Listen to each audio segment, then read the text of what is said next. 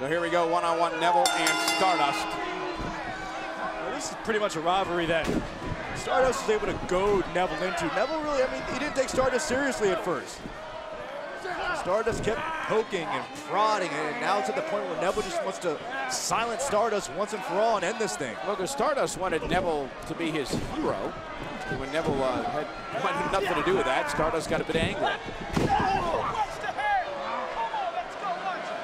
It's really all started for Stardust when he tossed away his uh, real personality of Cody Rhodes as you hear the Cody chants beginning here. And said that Cody Rhodes in his mind is gone and it's all about Stardust now. That's pretty accurate.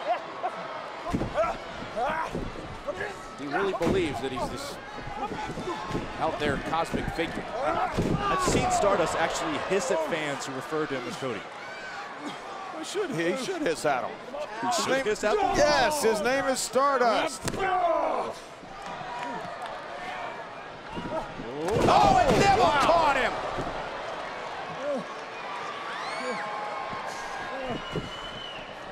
I think we know what Neville's thinking here. You ready, coach? You and Roflo about to have you a highlight for Sports Center.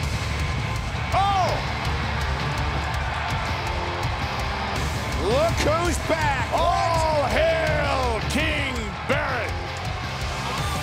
Remember, King Barrett was involved in a SummerSlam match when he teamed with Stardust. And look at Barrett. He doesn't look happy either.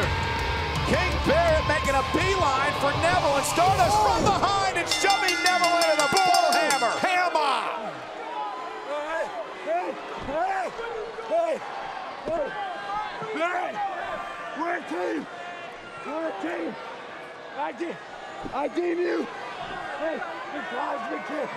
The Co- Hey! Hey! Oh, and a bull hammer to Stardust.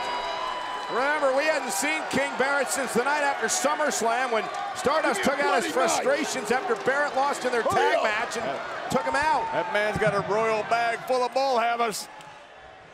All hail the return of the king. And did he ever make an impact?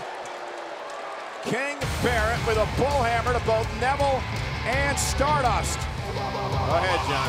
Oh,